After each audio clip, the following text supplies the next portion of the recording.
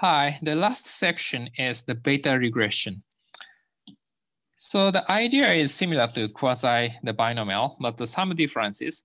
So often the response variable y, the range is in an interval 0, 1, but the denominator and the numerator are not given.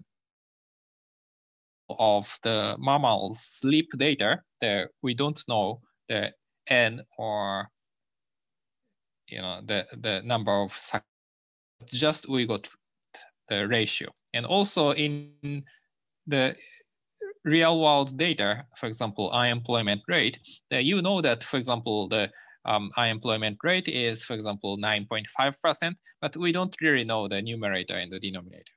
So in such a case, it's more natural that the uh, to assume that y is some continuous the um, variable, but it ranges in 0, 1. And the beta regression that assumes that the y follows the beta distribution with parameter AB. So this is the distribution between zero and one. And the distribution actually the, um, is shown in the next page.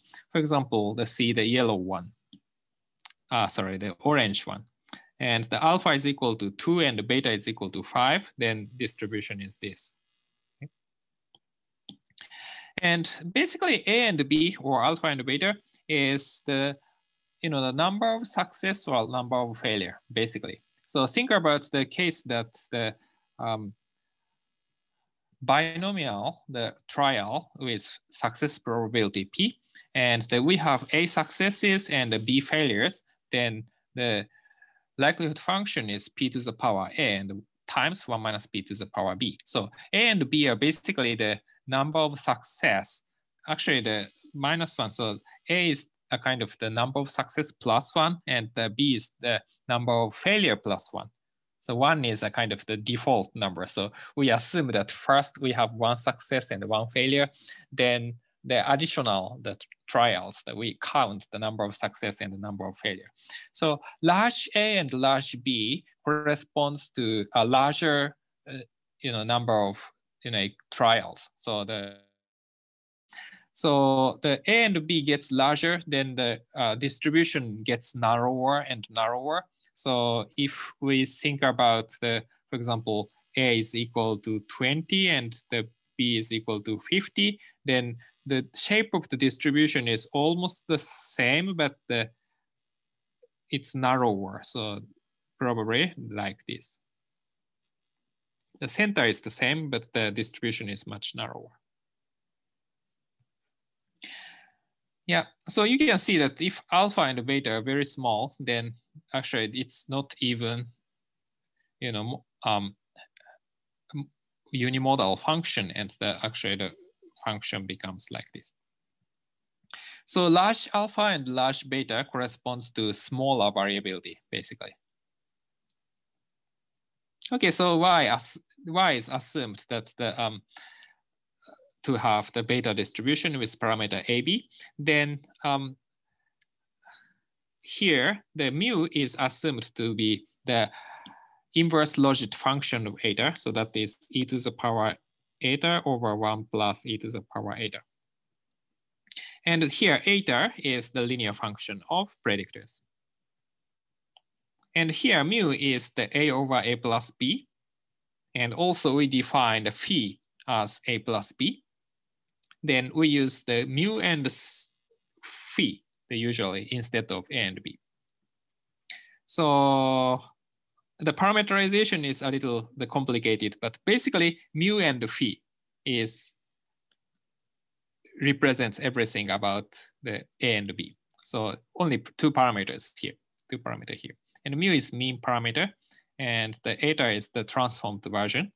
Um, and phi is the a plus b. So it's a kind of the um, corresponds to variance parameter.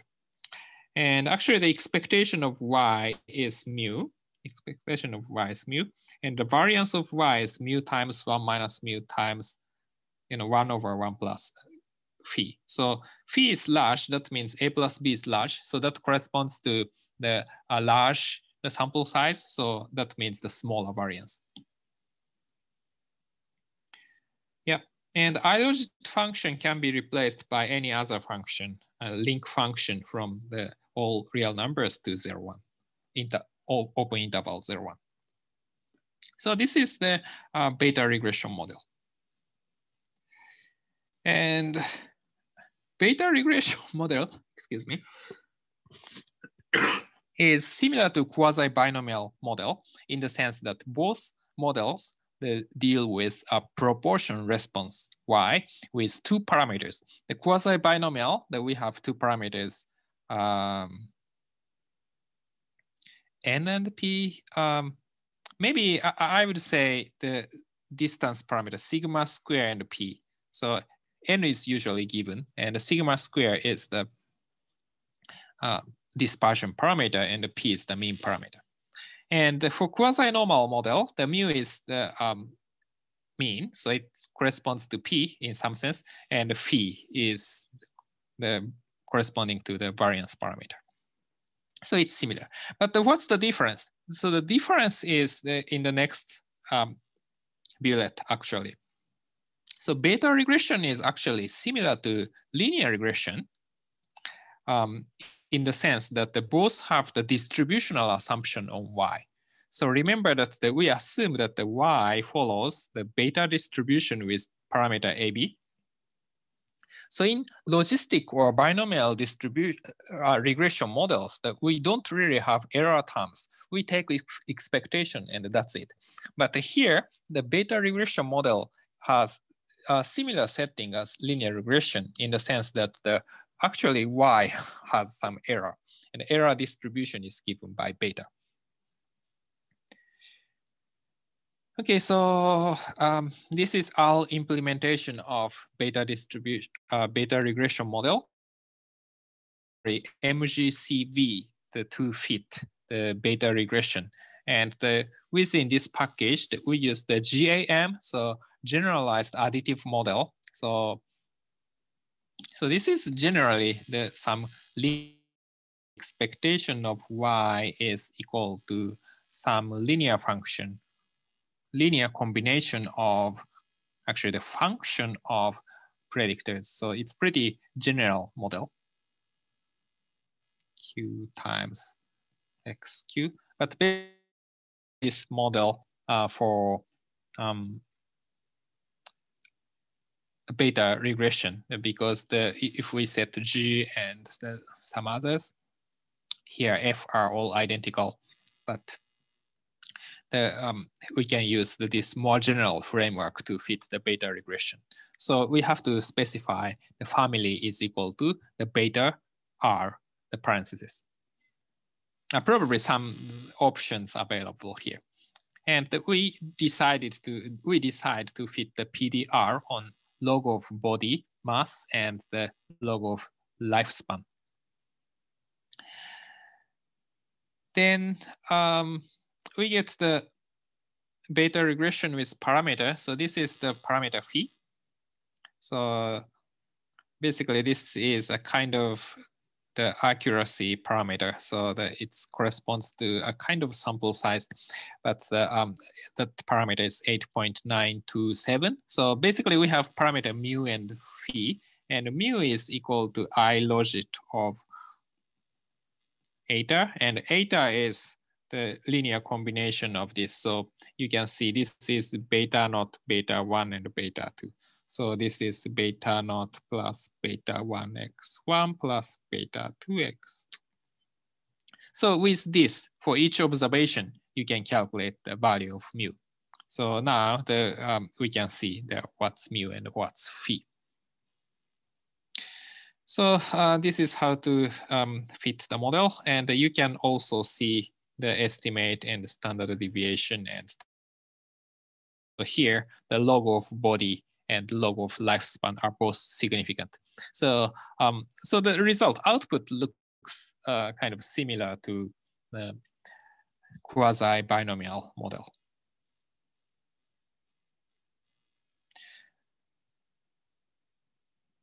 Um, um, so some typos. So the predicted distribution of y is calculated based on the predictor values x. and estimated parameters phi hat and mu hat. So in the previous slide, we have seen that the phi hat and mu hat are available. Mu hat is available for each observation. And um, if these are given, then you can actually, we can calculate, we can calculate the distribution of y. So at first, the fitted value, so this is the mu hat. So first observation, for first observation, the mu hat is 0.267 and the phi is just the um, uniformly 8.927 for all, all observations. And to get the beta distribution, we have to describe it as a parameter with a parameter a and b. And a is actually the mu times phi. So phi is a plus b and mu is the a over a plus b. So a is mu times phi. And a plus b is phi, so b is phi minus a. So now we can get parameter a and b. So we can make the um, density curve for um, y. So that becomes this. So the center is 2.67 to, to 0.267, so around here.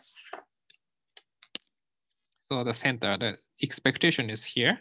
So expectation of y is 0.267, but we have some small probability of, for example, the more than 0.6 or something.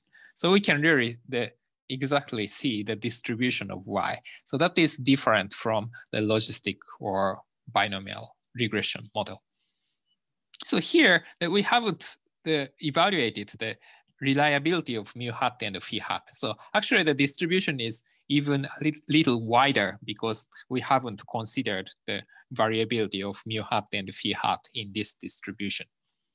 But if sample size is large, this distribution is pretty close to the actual, the predicted distribution of y.